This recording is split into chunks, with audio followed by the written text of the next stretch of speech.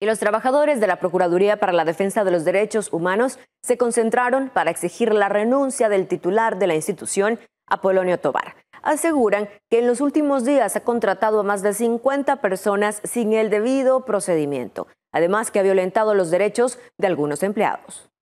¿Qué queremos? ¡Destitución! ¿De quién? ¡De Apolonio Tobar!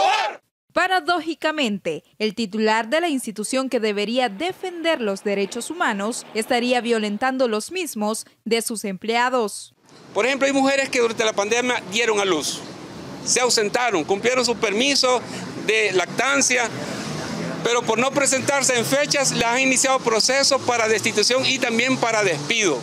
Además, le atribuyen actos de arbitrariedad al favorecer únicamente a los trabajadores afines a su persona. El señor procurador ha realizado incrementos selectivos a personas que él ha querido, a ciertas jefaturas. Aseguran que en los últimos meses cerca de 70 personas han sido contratadas sin seguir los procedimientos internos de la institución y los que establece la ley. A los que ha contratado vienen con mejores salarios, y acaban de entrar. La violación de sus derechos viene desde hace tiempo atrás. Afirman que desde el inicio de la pandemia no han contado con los implementos necesarios para protegerse del virus. Hay compañeros que para varios meses solo le dieron dos mascarillas para tres, cuatro meses. No le dieron alcohol gel.